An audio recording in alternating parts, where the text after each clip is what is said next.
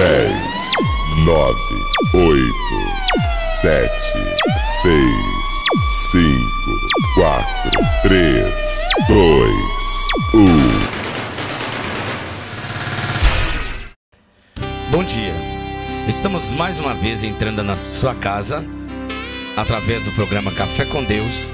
Hoje que eu vou estar abordando está nos Salmos 46, que está escrito: Deus é o nosso refúgio e fortaleza, socorro bem presente na hora da angústia.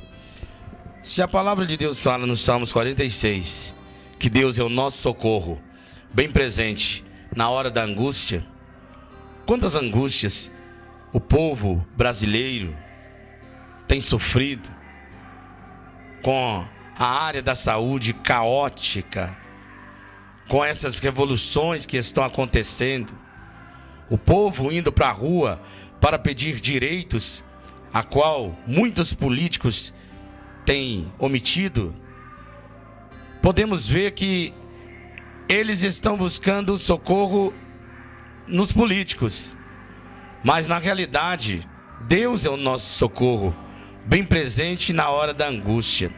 Se toda a população mundial se apegarem a Deus e pedir Deus justiça, pedir Deus provisão, Deus é fiel e forte para resolver todos os problemas.